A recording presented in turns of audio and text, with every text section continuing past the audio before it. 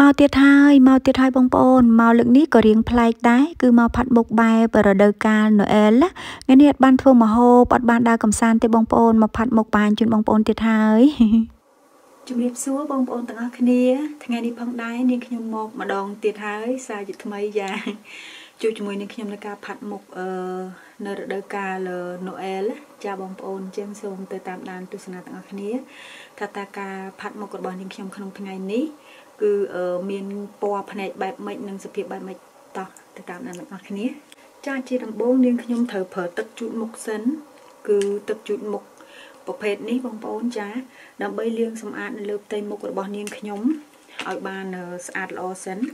មុននឹងយើងធ្វើការ make up ដើម្បីកុំឲ្យមានជាតិធូលីដី ដែលបង្កឲ្យយើង មានបញ្ហាស្បែកមុខបាន ចា គឺយើងត្រូវជូតសម្អាតវាឲ្យបានស្អាតល្អ បន្ទាប់មកទៀតនាងខ្ញុំប្រើ Serum Primer ដូចធម្មតាអញ្ចឹងបងប្អូនចា Serum Primer នេះគឺពិតជាសំខាន់ណាស់បងប្អូនក្នុងការ make up ដូចនឹងខ្ញុំជម្រាបបងប្អូននៅវីដេអូមុនមុនដែលនាងខ្ញុំធ្លាប់ផាត់មុខបង្ហាញអញ្ចឹងចាវាជួយបង្ហាប់ស្បែកមុខយើងឲ្យម៉ត់ទន់រលោងពីព្រោះសេរ៉ូម primer នេះគឺជាសេរ៉ូមដំបូងដែលយើងត្រូវប្រើមុននឹងយើងផាត់ម្សៅស្អិតម្សៅផាត់អី ចាវាជួយធ្វើឲ្យស្បែកមុខយើងហាប់តឹងណែន ចាហើយនឹងបឺតយកជាតិម្សៅឲ្យបានម៉ត់ចូលទៅក្នុងមុខយើងផងដែរនៅពេលដែលយើងចាប់ផ្ដើមផាត់ម្សៅស្អិតម្សៅផាត់ហ្នឹងចាវាបង្ហាប់ម្សៅបើសិនបើយើងអត់ប្រើសេរ៉ូម primer ហ្នឹងទេវាផាត់អត់បានស្អាតទេវាបែកខ្លាញ់លើមុខចឹងណាបងប្អូនសេរ៉ូម primer វាជួយទប់ខ្លាញ់ជួយទប់ញើសនិងបង្ហាប់ស្បែកមុខយើងឲ្យបានតឹងណែនល្អ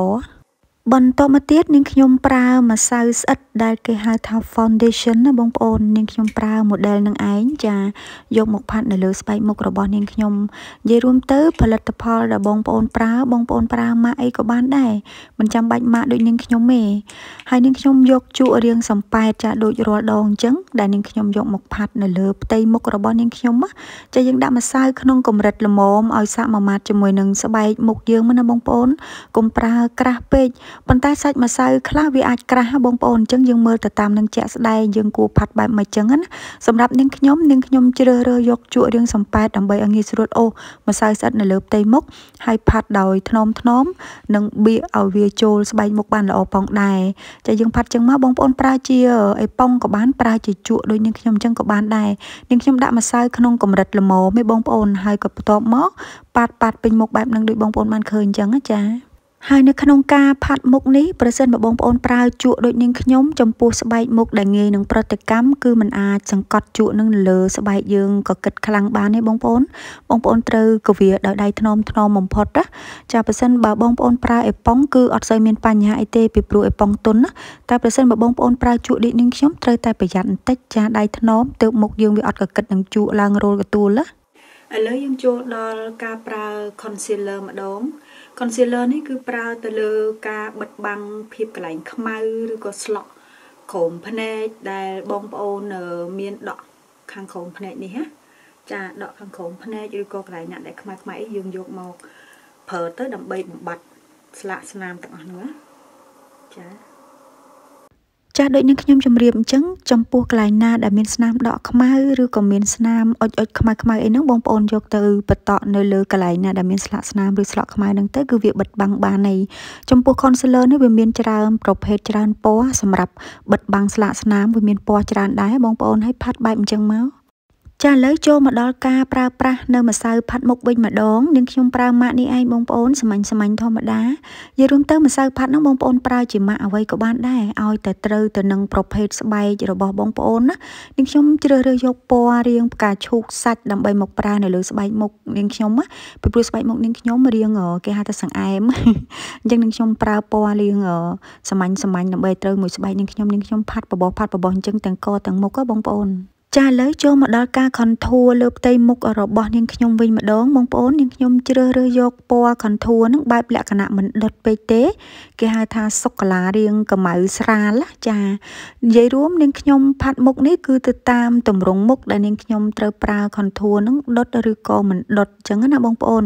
ចាសំខាន់គឺការផាត់មុខរបស់នាងខ្ញុំបែបម៉េចនាងខ្ញុំជ្រើសរើសពណ៌ផាត់ទៅតាមនឹងដែរ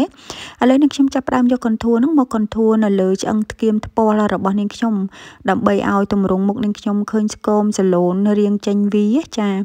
គឺ contour លើឆ្អឹងថ្ពាល់នឹងហើយគឺ contour នៅត្រង់ផ្នែកទម្រង់មុខពេញតែម្ដងកន្លែងណាមានឆ្អឹងឆ្អឹងនិងកន្លែងណាដែលមើលទៅឃើញរឿងធំធាត់ហ្នឹងណាគឺនឹងខ្ញុំផាត់កវិសទាំងអស់តែម្ដងបងប្អូនដើម្បីឲ្យស៊ីជាមួយនឹងការផាត់មុខរបស់នាងខ្ញុំណា ឥឡូវចូលមកដល់ការផាត់ភ្នែកវិញម្ដងបងប្អូននាងខ្ញុំជ្រើសរើសយកពណ៌ color ភ្នែកនឹងរាងសុកាឡាបែកទឹកក្រូចចាទឹកក្រូចមិនចំទឹកក្រូចសុកាឡាមិនចំសុកាឡាបងប្អូនយកមកផាត់នៅលើផ្ទៃភ្នែករបស់នាងខ្ញុំបែបនេះឲ្យឃើញរាងសិចស៊ីបែបសុភាពចានឹងហើយការផាត់មុខគឺវាមានច្រើនសន្តានណាបងប្អូនហើយនាងខ្ញុំក៏មិនមែនជាអ្នកជំនាញក្នុងការផាត់មុខអីដែរបងប្អូន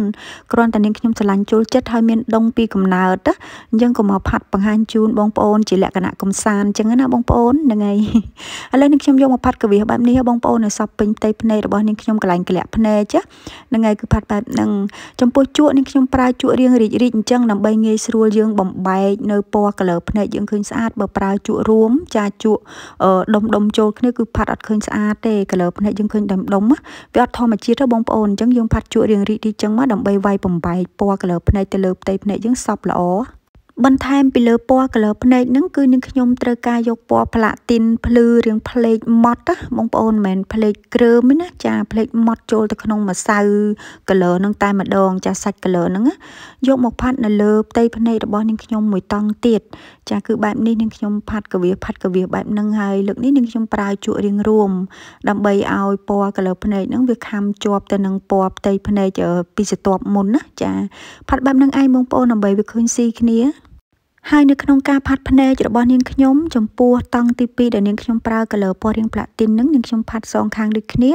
ប៉ុន្តែនាងខ្ញុំអត់ផាត់ទៅដល់លើផ្ទៃភ្នែកទេពណ៌មុននាងខ្ញុំអូសរៀងឡើងទៅលើបន្តិចដោយជក់រីករីកដើម្បីវាយបំបីពណ៌ឲ្យឃើញសពស្មើគ្នារាងពណ៌ធម្មជាតិដល់ពេលពណ៌ទី2នេះគឺនាងខ្ញុំប្រើជក់ដុំនឹងគឺផាត់មើលទៅធ្វើម៉េចឲ្យវាស៊ីជាមួយនឹងពណ៌មុនណាចាប៉ុន្តែអត់ផាត់ទៅដល់លើភ្នែកខ្លាំងពេកទេបងប្អូនចា ផាត់ភ្នែករួចរាល់ហើយឥឡូវនេះខ្ញុំបន្ថែមជាមួយនឹង lens ដាក់ភ្នែកបន្តិចដើម្បីលើកសម្រស់ភ្នែកយើងឲ្យកាន់តែស្រស់ស្អាតផងដែរបងប្អូនបងប្អូនអត់ចេះដាក់មិនបាច់ដាក់ក៏បានដែរប៉ុន្តែសម្រាប់នាងខ្ញុំគឺនាងខ្ញុំចូលចិត្តណាអញ្ចឹងនាងខ្ញុំដាក់ឲ្យវាលើកសម្រស់ភ្នែកយើងកាន់តែបានស្អាតជាងមុនអញ្ចឹងណាបងប្អូនហើយក្នុងការប្រើប្រាស់ lens នេះគឺយើងត្រូវយកប្រភេទ lens ដែលត្រឹមត្រូវពីព្រោះការប្រើប្រាស់ lens នេះវាមានតាមការប្រើរបស់យើងបើយើងប្រើអត់ត្រូវដាក់ទៅវាស្វាំងណាបងប្អូនវាវាខុសហ្នឹងហើយ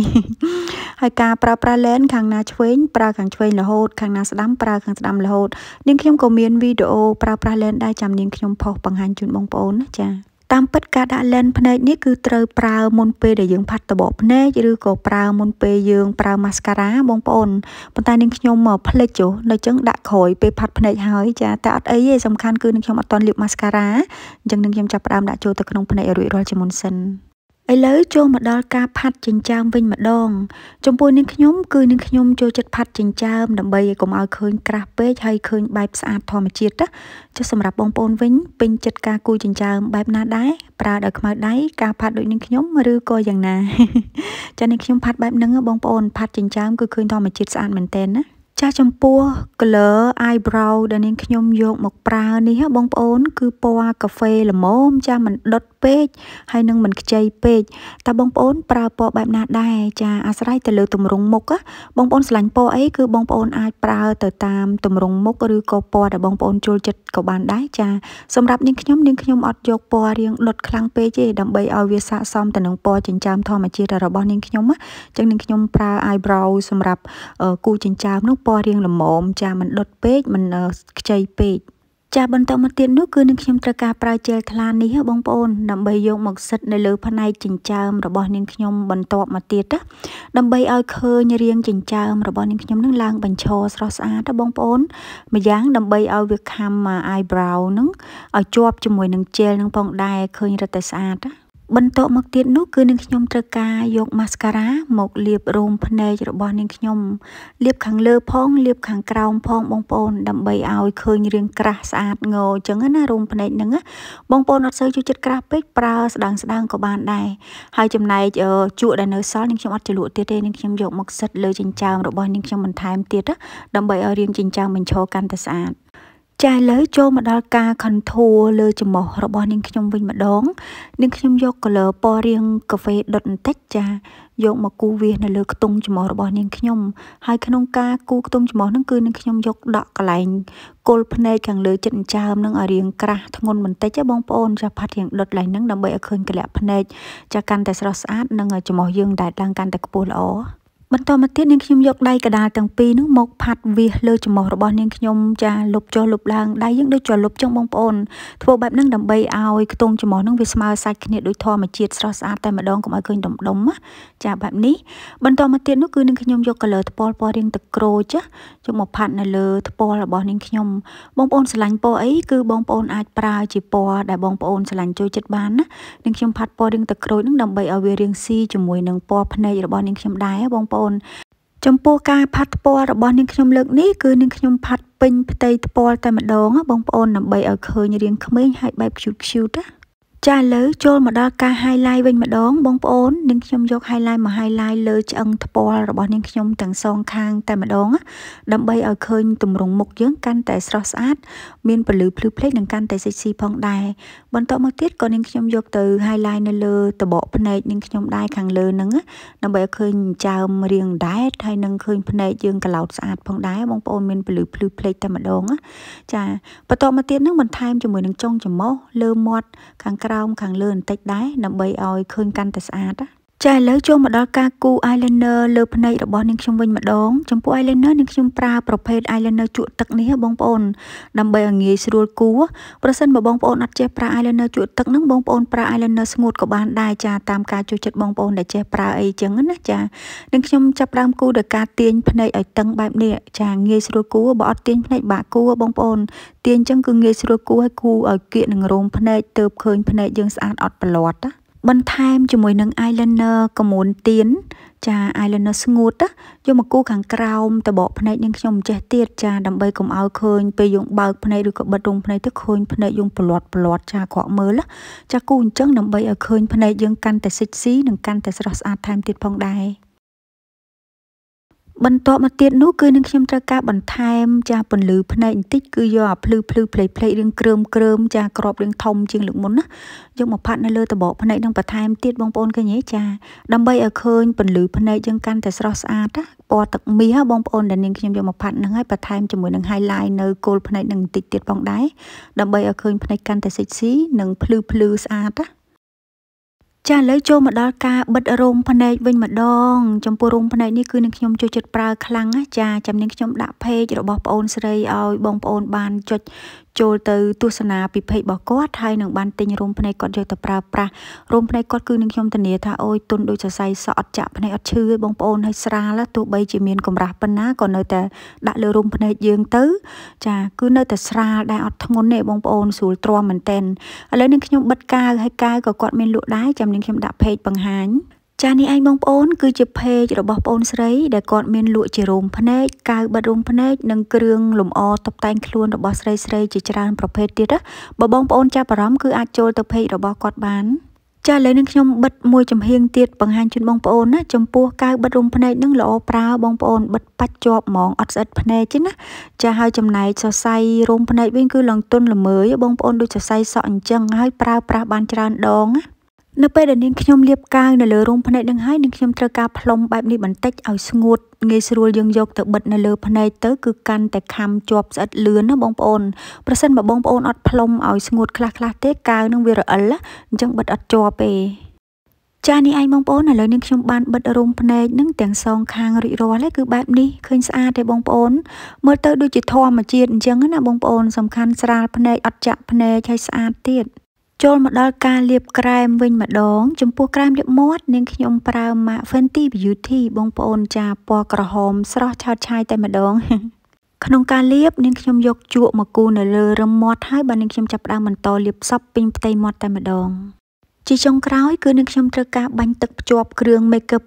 ទឹកភ្ជាប់នេះក៏មានសារៈសំខាន់ដែរកាលណាពេលដែលយើងប្រើនៅពេលដែលយើងផាត់មុខហើយយើងបាញ់ទៅវាភ្ជាប់គ្រឿង makeup យើងបានល្អ បន្ទាប់មកទៀតចូលមកដល់ការគៀបសក់ចានាងខ្ញុំជ្រើសរើសយកការគៀបសក់ត្រង់ណាប្រសិនបើបងប្អូនស្រឡាញ់សក់រួញបងប្អូនមូសក់រួញក៏បានដែរតែនាងខ្ញុំស្រឡាញ់តែបែបធម្មតាធម្មតាចាអញ្ចឹងទៅនាងខ្ញុំគៀបសក់ឲ្យត្រង់ត្រង់ទៅគឺរួចរាល់ជាការស្រេចជ័យ ចានេះឯងបងប្អូនឥឡូវគឺបានរួចរាល់ហើយការផាត់មុខរដូវកាលណូអែលរបស់នាងខ្ញុំតើបងប្អូនចូលចិត្តផាត់មុខបែបណាដែរចាំវីដេអូក្រោយៗនាងខ្ញុំនឹងបង្ហាញពីការផាត់មុខបែបធម្មជាតិធម្មជាតិស្រាលស្រាលជូនទៅដល់បងប្អូនទស្សនាវិញម្ដងពីព្រោះមានបងប្អូនសំណូមពរនាងខ្ញុំច្រើនណាចាហើយនេះ cute ទេបងប្អូនអ្នកចានាងខ្ញុំពាក់មួកដើមសាប៉ាំងចានៅលើក្បាលរបស់នាងខ្ញុំឲ្យឃើញនាងក្មេងបន្តិចបែប cute cute ចឹងបងប្អូនហើយខែណូអែលចេះផាត់មុខអញ្ចឹងហើយនឹងលាបក្រែមពណ៌ក្រហមអញ្ចឹងពាក់មួកបែបណូអែលណូអែលអញ្ចឹងគឺត្រូវតែម្ដងចាចំពោះរដូវកាលណូអែលនេះចានាងខ្ញុំឆ្លាញ់បែបនឹងចានិយាយរួមទៅ ការផាត់មុខគឺនាងខ្ញុំផាត់ style ទៅតាមរដូវកាលមួយមួយអញ្ចឹងណាបងប្អូន តែនាងខ្ញុំនឹងបង្ហាញជូនបងប្អូននៅពេលក្រោយទៀតការផាត់មុខបែបផ្សេងផ្សេងទៀតអញ្ចឹងណាចា ចាឥឡូវគឺបានរួចរាល់ហើយបងប្អូនការផាត់មុខបែបរដូវកាលណូអែលរបស់នាងខ្ញុំសង្ឃឹមថាបងប្អូននឹងចូលចិត្តផងដែរចាំជួបនាងខ្ញុំនៅពេលវេលាក្រោយៗនឹងឱកាសក្រោយៗទៀតណាបងប្អូនចាអញ្ចឹងក្នុងគណៈពេលនេះនាងខ្ញុំសូមអរគុណសូមជម្រាបលា